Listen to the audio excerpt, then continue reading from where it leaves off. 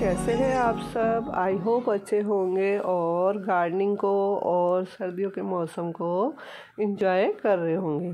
तो हमेशा की तरह सबसे पहले अपने गार्डन की सैर और उसके बाद कुछ काम की बातें। तो सबसे पहले आज आपको मैं दिखाती हूँ कि कल इन बॉटल्स के ऊपर कुछ चित्रकारी की। आप लोग बताना कमेंट सेक्शन में कि कैसे लग रही हैं ये बॉटल्स तो पहले इसके ऊपर वाइट पेंट किया हुआ था तो वो कुछ खाली खाली सा लग रहा था तो अब उसके ऊपर ये फेसेस बना दिए हैं। इन फेसेस को देख के भी गार्डन में अच्छा लगता है, और साथ साथ फूल तो होते ही है देखने के लिए। तो इस प्रकार गार्डन का एक अलग ही लुक आ जाता है। आज धूप बिल्कुल नहीं निकली और बहुत ज़्यादा ठंड है यहाँ पर। तो वीडियो भी देखिए, कुछ इस प्रकार से बनी है। तो आज हम बात करेंगे अपने गार्डन में लगने वाले कीड़े के ऊपर, जो हमारे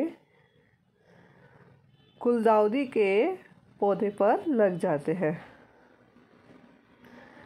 आप लोगों ने भी देखा होगा कि गुलदाउदी के पौधे पर छोटे छोटे ब्लैक कलर के कीड़े लग जाते हैं, जो गुलदाउदी के पौधे को ख़राब कर देते हैं और ना उस पर ढंग से फूल आ सकते हैं और ना ही वो उस पौधे की ग्रोथ होती है। तो आप भी समय समय पर अपने गुलदाउदी के पौधे को चेक करते रहें।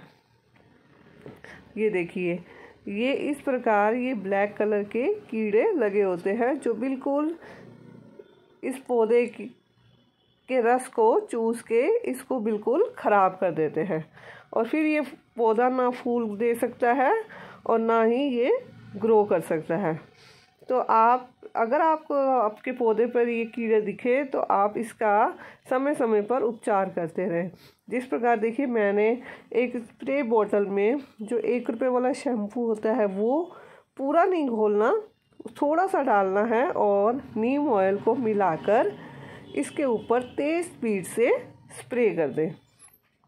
अगर आप लोग ये नहीं करना चाहते तो सीधा पानी से भी स्प्रे कर सकते हैं। लेकिन स्प्रे ऐसे करें कि तेज़ी से इस डंडी के ऊपर पानी की बौछार जाए, जिससे ये कीड़े ख़त्म हो जाए।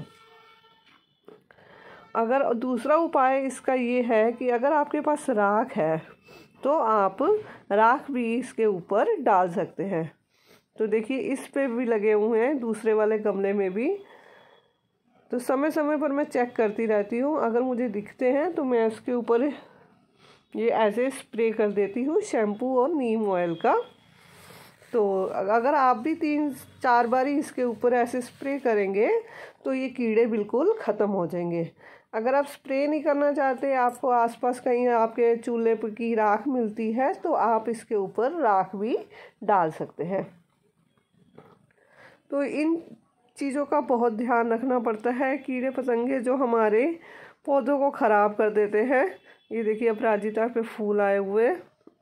तो इनकी रोकथाम के लिए समय समय पर हमको इस प्रकार स्प्रे या कीटनाशक दवाइयों का इस्तेमाल करना पड़ता है।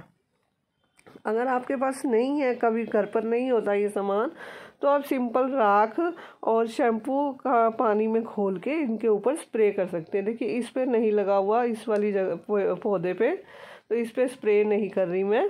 तो जिस पे लगा हुआ है वो काले कीड़े तो आप उसके ऊपर समय समय पर स्प्रे करते रहें।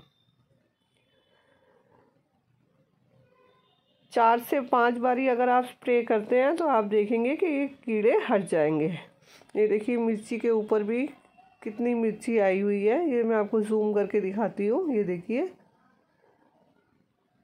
और ये फूल भी बने हुए हैं साथ में, जो कि दो से चार दिन में मिर्ची का रूप ले लेंगे। मिर्ची के पौधे पर देखिए, इस प्रकार सफ़ेद फूल पहले आते हैं, फिर उसके बाद ये मिर्ची का रूप ले लेते हैं। तो चलिए, मिलती हूँ फिर आपसे अपनी नेक्स्ट वीडियो में। मेरी वीडियो अच्छी लग रही है आपको तो प्लीज़ लाइक कीजिए शेयर कीजिए और मेरे चैनल को सब्सक्राइब कीजिए।